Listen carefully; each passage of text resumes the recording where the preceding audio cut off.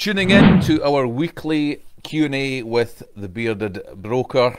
I aim to bring these live Q&As to you every single week, answering all things mortgages, house buying process, and everything else uh, in between.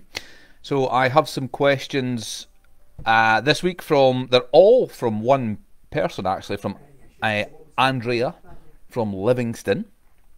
Uh, and Andrea's questions are so we'll go with question number one is so she states initial interest rate is key to equity. So what I think Andrea is asking is if I've depending on the size of my deposit, will that influence the interest rate that I get from the lender?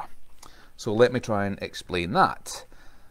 So a mortgage lender, when they're giving you a mortgage, when they're giving you an amount, they will base what interest rate that you get on how much deposit you're putting down.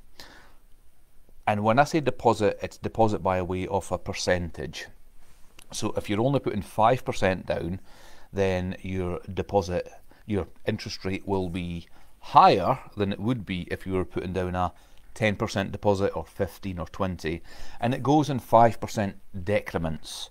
So for every 5% extra that you can put in then the interest rate that you will get will be more beneficial to you. And ultimately the reason for this is is the more deposit you're putting in the less risk it is to the lender so therefore they're happy to sell you a lower rate of interest. So Andrea I hope that answers your question if not please just get in touch and I will be happy to try again. And if indeed that's exactly what you meant. Uh, so, question number two from Andrea is Can you remortgage immediately after getting a mortgage if you didn't fix it to get a better rate? Now, Andrea, I'm not sure why you, you would do that, but presumably, I think what you mean is if you bought a property that needed a little work, a work done to it. So if you bought something worth £120,000 and you were able to get that for less expensive and you were able to do lots of work to it and really increase the value, and then therefore, if you only put down a small deposit to begin with, let's say 5%, and then you do the work for five, six, seven months you totally got the place and then it's worth a lot more money. And then yes you can remortgage later down the line to then try and get yourself a better interest rate. Because again the same as question one that then technically is you've got a bigger deposit within that property. So so the answer is yes. There's there's lots of little moving parts to that to be honest with you Andrea. But again because at the moment you can't really get a 95% mortgage that has doesn't have penalties to come out of it. So again, depending on the numbers, whether that would be worthwhile for you. So in theory, the answer is yes. You can remortgage immediately or within a six-month period. Uh, a lot of lenders need you to wait six months. Uh, so in theory, the answer is yes, but will depend upon the numbers. But yes, some people do that uh, if they can really increase the, the, the value of it pretty sharp. Uh, question number three, Andrea, is so taking uh, a mortgage, I think what she's saying here is, is it worth to getting a mortgage product that doesn't charge a product fee? And I'll explain that. So I really refer to this as the seesaw mortgage balance. Okay, and I'll explain what I mean by that. So Let's say you're borrowing an amount of £200,000.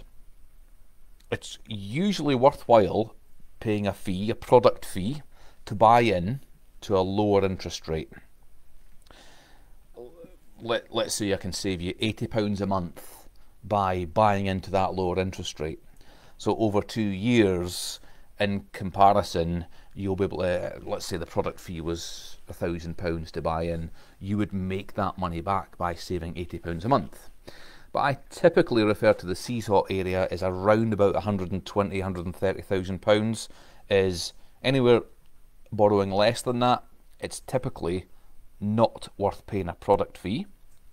And Anywhere over that is usually worth paying a product fee to buy into a lower interest rate. Hopefully that helps, Andrea. Again, like everything, it's every case on its own merits. And when when I source a mortgage for someone, uh, we use uh, a system which works out the true cost for us. So we'll look at how much someone is borrowing over the term, what sort of product we're looking at, e.g. a fixed rate, and then we'll do the true cost analysis over one with a fee and one without a fee, and then I'd make a recommendation based on the best true cost. 99 times out of 100. There are one or two circumstances when that isn't appropriate, but uh, most of the time that's what we do. Uh, I like this one, uh, and it definitely shows that Andrea's thinking way beyond, and that is how to properly plan overpayments. Now, again, depending on someone's circumstances and how strict they are with themselves. So you can overpay into a mortgage. There's no industry standard, but it's typically 10% of the balance. So if you borrow £100,000 today, typically in year one you can overpay by 10%. Let's say, for example, it's a two year fixed rate. In year one, you can overpay by 10% with no penalty. In year two, you can overpay by 10% also with no penalty. Now, how to plan overpayments. I prefer in the very beginning to have a discussion with someone and say, what is your budget? Let, let's take it up as far to the budget as possible because I want to get you the least mortgage term that I can get. Why take something over 30 years if we can afford it over 22? So I always go through someone's income, I go through what their expenditure will be, I see how much budget is left.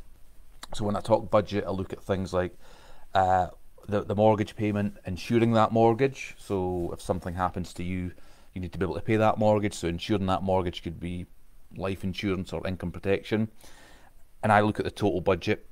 I always encourage people at this point take what's affordable and take what's what's in your means. If you then still have money throughout the year, let's say you get a bonus of three thousand pounds, you can overpay that into the mortgage.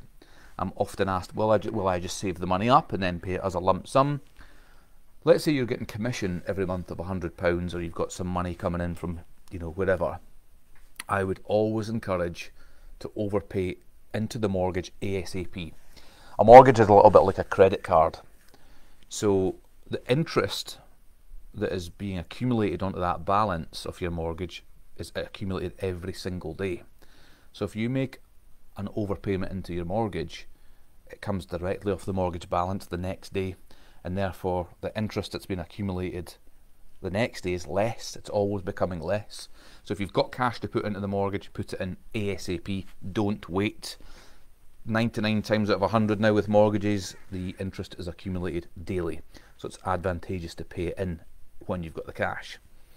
Uh, planning for overpayments is going to depend upon your circumstances. If you get a quarterly bonus, if you get an annual bonus, if you're waiting on some stocks and shares being cashed in, that sort of thing. So you just have to, depending on your own circumstances, but I would always say in the very beginning, take the shortest term you can possibly afford.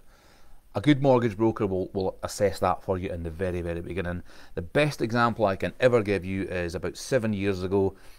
I had a client come to me who had been to RBS and he said, I've been quoted this mortgage, it's over 30 years. This chap worked uh, offshore, he earned a lot of money, and he wasn't buying an expensive property. I did a full assessment for him. I could shrink that mortgage term to 11 years, and therefore it was some crazy number like saving him 70, 7 to 8,000 pounds worth of interest over that term, just because I'd spent an extra 10 minutes going through that assessment. So Hopefully that helps Andrea and hopefully that helps you lots. If you've got any questions at all, any mortgage questions, any questions about the house buying process, and indeed anywhere, anyone else you'd like to see uh, live as well, solicitors, estate agents, that sort of thing. We're hoping that next week I will be doing a physical live uh, with a chap, a first time buyer who's got some questions for us, and hopefully we'll get uh, him on next week where we can ask some questions. But that's it for now. That's the Bearded Broker coming live once again. If you've got any questions in the comments, uh, happy to answer. And we'll be uploading this to Facebook and YouTube if you would like to replay any of that. And if I've not answered anything properly, please let me know and I'll have another go at it. So thanks very much, and we'll see you next week, 12 o'clock. Thank you.